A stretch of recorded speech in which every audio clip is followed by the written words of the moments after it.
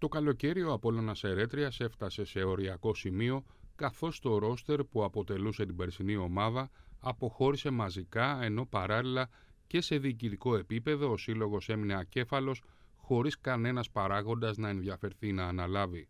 Τη λύση έδωσε ένας παλιός ποδοσφαιριστής, ο Γιώργος Μπασινάς, ο οποίος ως επικεφαλής της νέας διοίκησης στηρίχθηκε στα παιδιά των Ακαδημιών, δημιουργώντας ένα νεανικό σύνολο και μαζί με τη συνδρομή τριών-τεσσάρων έμπειρων ποδοσφαιριστών προσπαθούν να κρατήσουν όρθια την ομάδα της Ερέτριας. Στην τεχνική ηγεσία ο Σπύρος Κοντός αντικατέστησε τον Τάσο Ταφταρίδη συνεχίζοντας την ίδια διοικητική φιλοσοφία που χάραξε η διοίκηση Μπασινά.